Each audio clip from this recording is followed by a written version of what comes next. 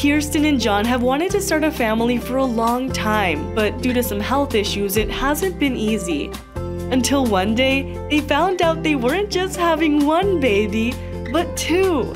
So they thought of a creative way to shake things up when it came to their gender reveal. Three, two, one, four.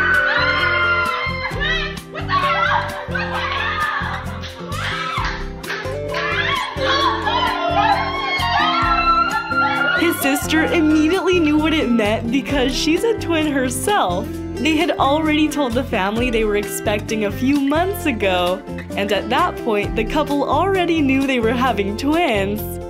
But they decided to keep it a secret up until now.